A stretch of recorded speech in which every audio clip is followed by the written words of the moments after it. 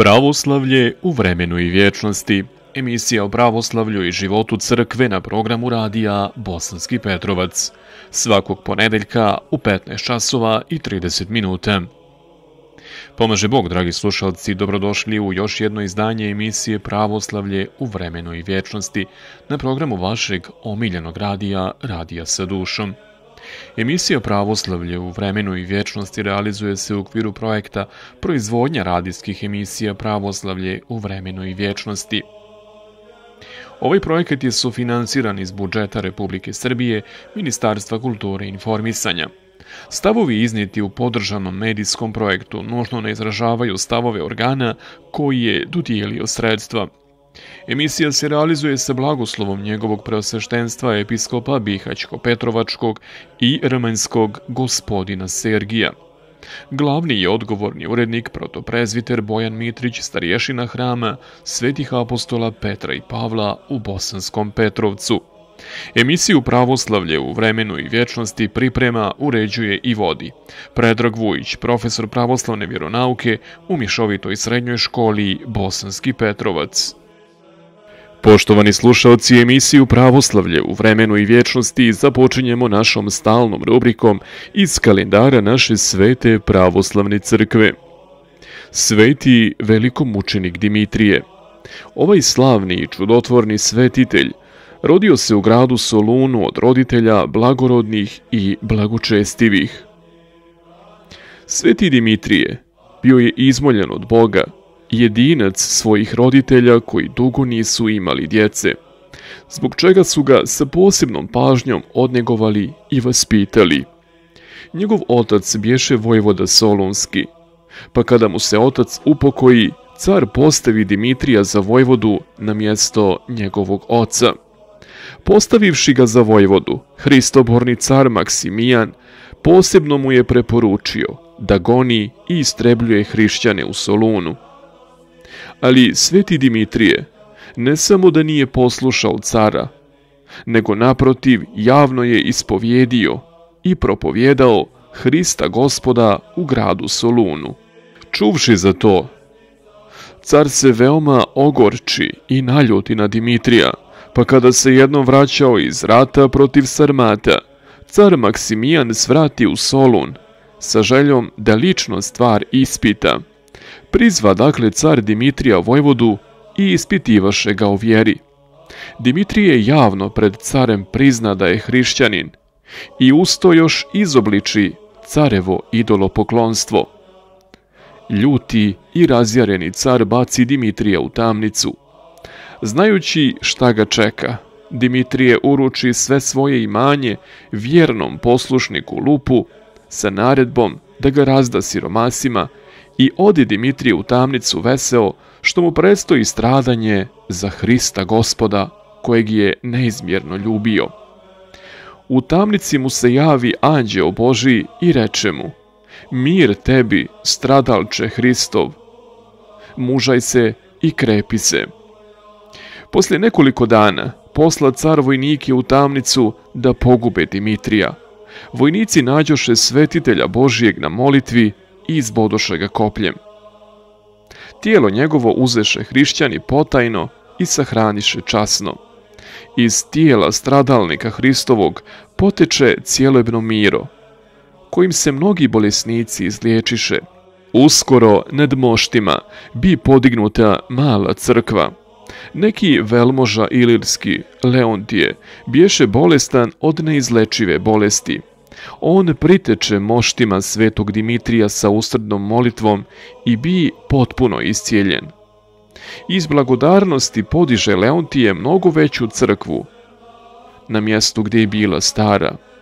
Svetitelj mu se javi u dva maha. Kada car Justinijan htjede prenijeti mošti svetiteljeve iz Soluna u Carigrad, iskočiše plamene iskre od groba i ču se glas. Stanite i ne dirajte. I tako mošti svetog Dimitrija ostadoše zauvijek u gradu Solunu. Kao zaštitnik Soluna, sveti Dimitrije mnogo puta se javljao i mnogo puta je spasao Solun od velike bijede. Čudesima svetog velikomučenika Dimitrija broja nema. Svetog Dimitrija smatraju Rusi pokroviteljem Sibira, koji je osvojen u Rusiji pripojen 26. oktobra 1581. godine. Sveti mučenik Nestor u vrijeme stradanja svetog Dimitrija Mirotočivog bješe u Solunu neki mladić Nestor, koji se nauči vjeri Hristovoj od samog svetog Dimitrija. U to vrijeme priredi Hristoborni car Maksimijan razne igre i uveseljavanja za narod. A carev ljubimac bješe neki vandal po imenu Lije, golijatskog rasta i snage. Kao carev gladijator, Lije je izazivao na Megdan svaki dan po nekoga koga bi pogubio. I njegovo krvološtvo uveseljavalo je cara idolskog. Za lijeve Megdane napravi car naročito pozorište kao jedno gumno terasa na stubovima. Dole ispod tog gumna bijehu pobodena koplja sa oštricama u vis. Kada bi nekog u hrvanju pobjedio, on bi ga gurnuo od ozgo sa tog gumna na čitavu šumu upravljenih kopalja. Okolo je stajao neznabožački narod sa svojim carem i veselio se. Među nevinim žrtvama lijevim bijehu i mnogi hrišćani. Jer kada se nekog dana niko ne bi dobrovoljno javio na Megdan Liju, tada su po naredbi carevo i hrišćani vučeni silom da se bore sa lijem. Gledajući to užasno uveseljavanje neznabožačko svetom Nestoru, srce se kidaše od bola i on se riješi da izađe sam na Megdan džinovskom liju. Ali prethodno ode u tamnicu svetom Dimitriju, potraži od njega blagoslov za to. Sveti Dimitrije ga blagoslovi, prekrsti znamenjem krsta na čelu i na prsima i proreče mu. Lije ćeš pobijediti, ali ćeš za Hrista postradati. Mladi Nestor iziđe liju na Megdan. Bješe prisutan car sa mnoštvom naroda, i svi su žalili mladog Nestora što će mlad postradati i odvraćali su ga od borbe sa Lijem, ali Nestor se prekrsti i reče Bože Dimitrijev, pomozi mi. I sa Božjom pomoću savlada Nestor Lija, obori ga na oštra koplja. Tada sav narod povikaše veliki je Bog Dimitrijev, a car se postidi pred narodom, ožalosti za svojim ljubimcem Lijem, pa se razgnijevi na Nestora i Dimitrija. I tako opaki car naredi, te Nestora posjekoše, a Dimitrija kopljem izbodoše. Tako skonča svoj mladi život, ovaj slavni hrišćanski junak i svetitelj Nestor 306. godine po rođenju Hristovom i preseli se u carstvo gospoda Boga svoga. Tema emisije Pravoslavlje u vremenu i vječnosti – Poštovani slušalci, tema ovo sedmičnog izdanja emisije Pravoslavlje u vremenu i vječnosti jeste svetost braka i rađanja.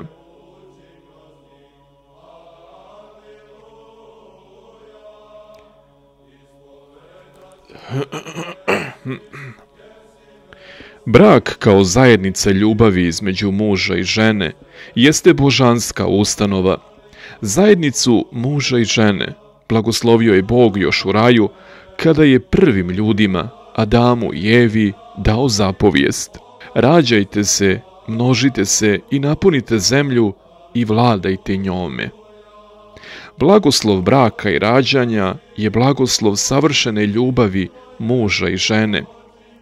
Rađanje djece je veliki blagoslov, ali nije jedini cilj braka.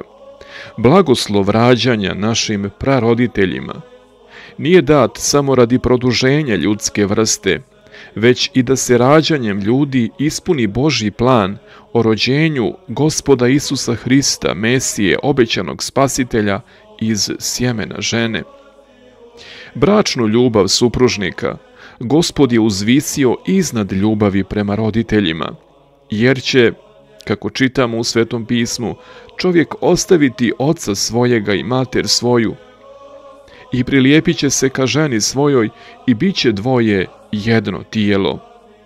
Cilj prvobitnog blagoslova rađanja je da se izgradi prvobitna starozavjetna crkva, a zatim i da se ovoploćenjem Hristovim i silaskom duha svetoga na apostole osnuje i proširi crkva Božija po cijelom svijetu.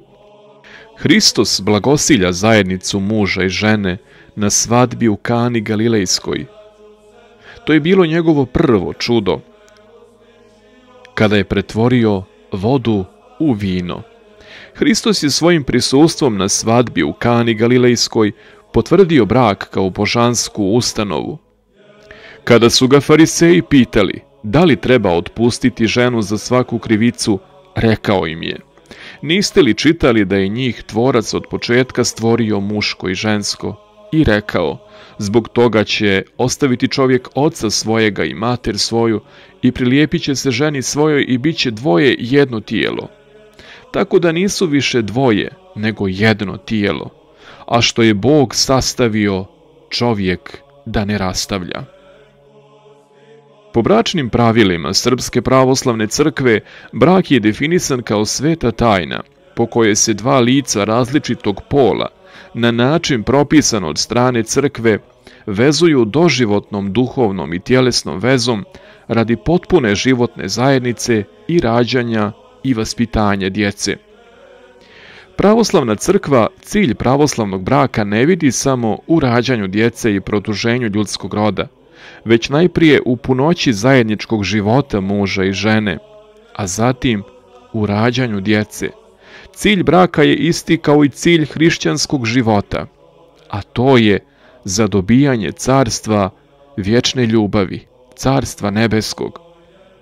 U centru bračne ljubavi je Hristos. Sadržaj braka je ljubav. Ljubav koja nikad ne prestaje. Sveti apostol Pavle vezu između muža i žene upoređuje sa vezom između Hrista i crkve njegove. Muž ikonizuje Hrista. Glava je braka i hrišćanske porodice kao male crkve. A žena, ona ikonizuje crkvu Hristovu i tijelo muževljevo. Jer muž je glava ženi kao što je Hristos glava crkvi i on je spasitelj tijela. Ali kao što se crkva pokorava Hristu, tako i žene u svemu da se pokoravaju svojim muževima. Muževi, volite svoje žene kao što Hristos zavolje crkvu i sebe predade za nju da je osveti, očistivši je krštenjem u vodi i riječju, da je stavi preda se slavnu crkvu koja nema mrlje ni bore ili tako što, tome slično, nego da bude sveta i neporočna. Tako su dužni i muževi da vole svoje žene kao svoje tijela, jer koji voli svoju ženu, samoga sebe voli. Ovako govori sveti apostol Pavle u poslanici Efescima u petoj glavi. Bračna ljubav je veliki blagoslov, ali i velika žrtva.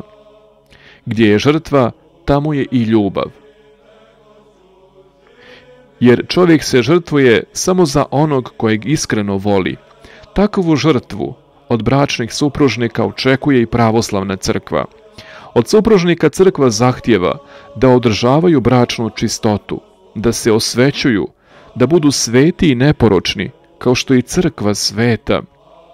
Tako sveti i čisti, bračni supružnici treba da svoju ljubav unesu u radost carstva Božijeg.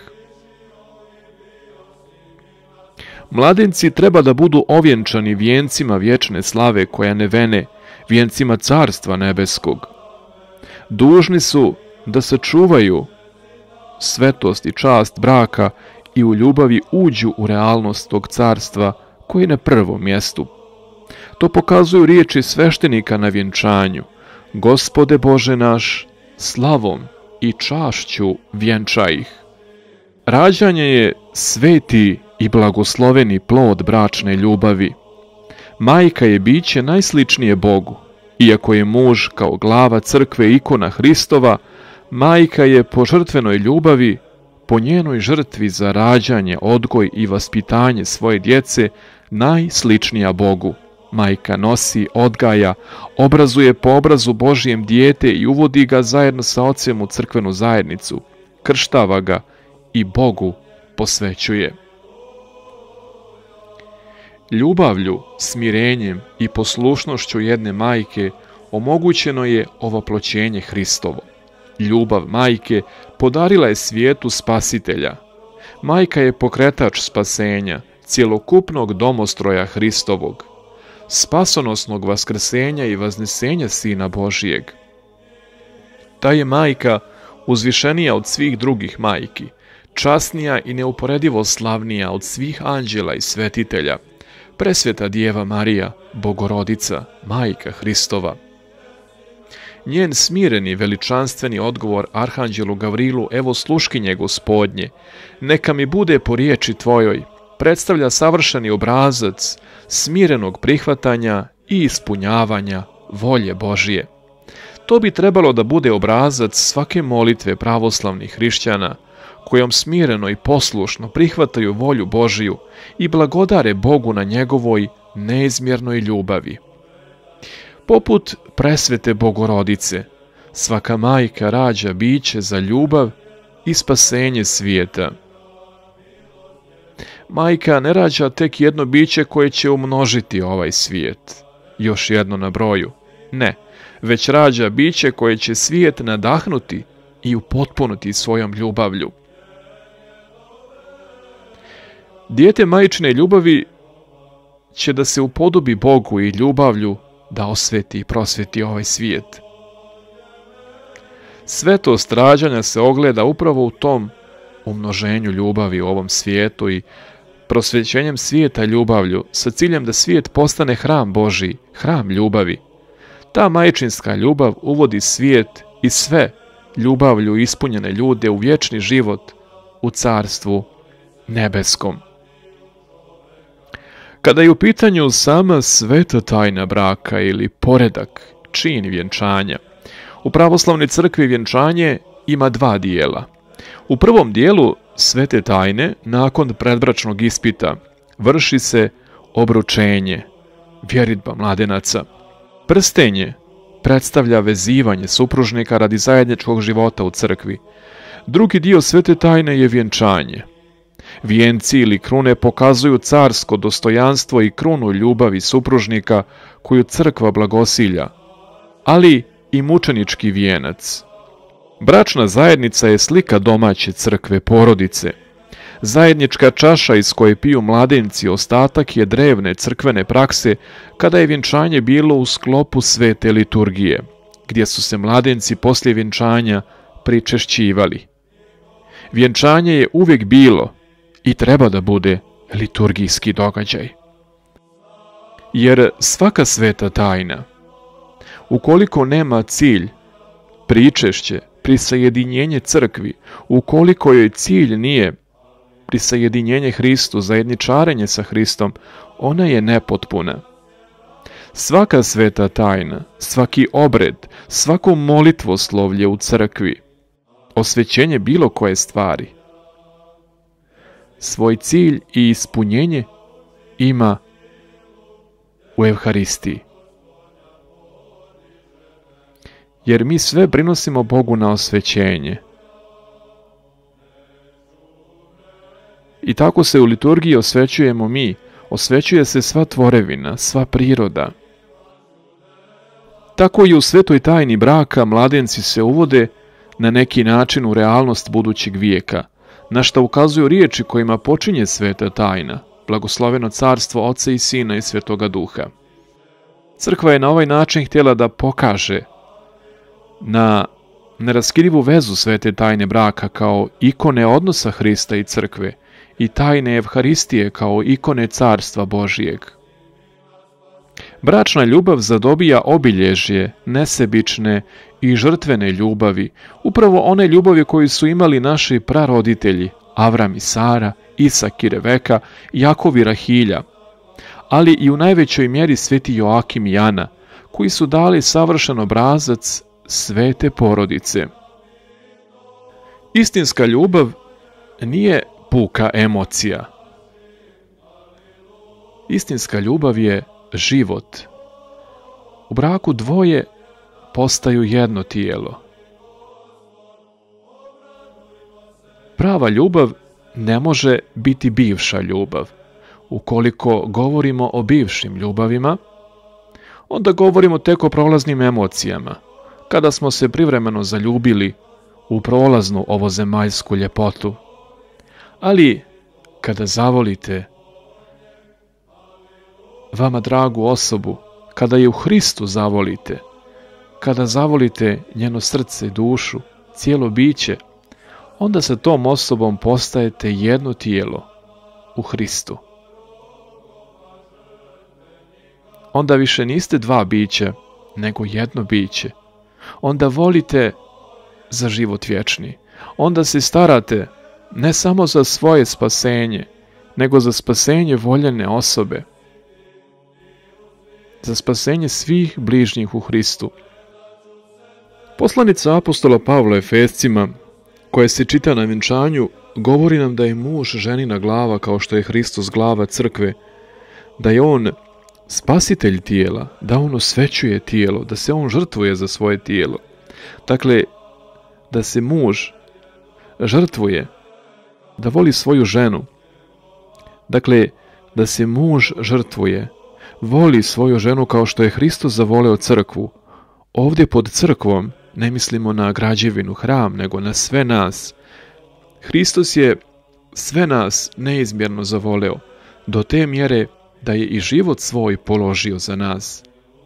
Da se žrtvovao na krstu za nas, a onda slavno vaskrsao pobjedio sve ono što nas je razdvajalo od njega, od Boga, od vječnog carstva Svete Trojice.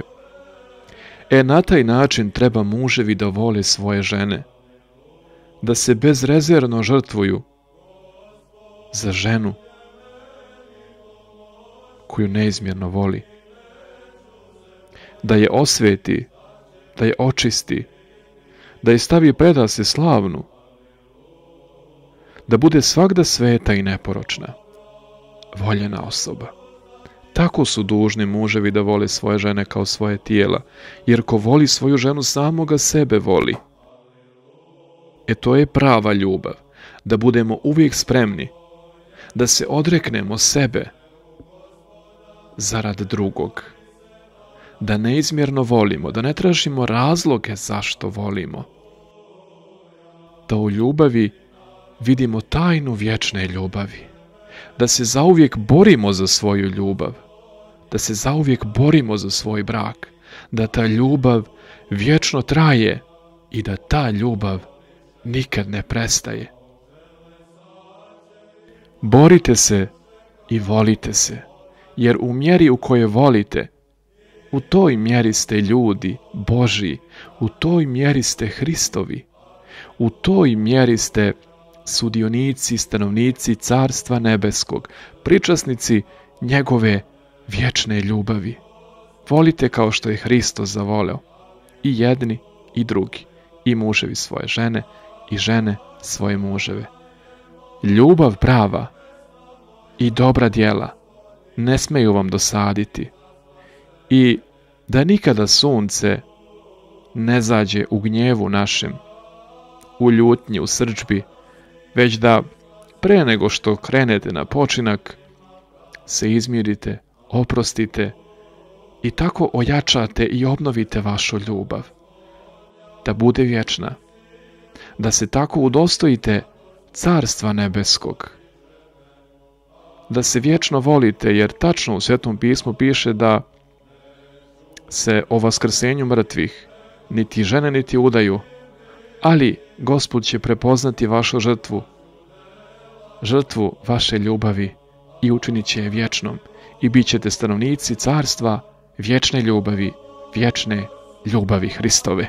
Pričešćujte se ljubavlju, jačajte vaš brak ljubavlju, dopustite da ljubav kojom ste pričešćeni na svetoj liturgiji, kao što se kaže, u molitvi poslije pričešća prodre u sve udove, u sve sastave, u kosti, u punoću vašeg bića, da odagna svaki grijeh, brzovolju, a da usili smirenje, da usili ljubav u vaša srca, imajući ljubav u sebi, imajući srce ispunjeno ljubavlju, vama ništa više od te ljubavi ne treba, doli da se molite da ljubav traje i nikad ne prestaje. I tako smo došli do kraja još jednog izdanja emisije Pravoslavlje u vremenu i vječnosti na programu vašeg omiljenog radija Radija sa dušom. Želimo vam svako dobro u gospodu. Boga molite i bližnje volite i ne zaboravite. Volite život i živite samo da biste voljeli. Do slušanja i prijetno.